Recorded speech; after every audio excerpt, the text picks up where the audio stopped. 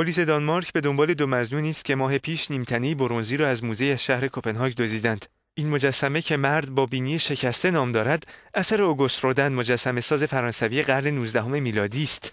در تصاویر پیدا شده، دو فرد مزنون در حال گشت زدن در موزه دیده می شوند.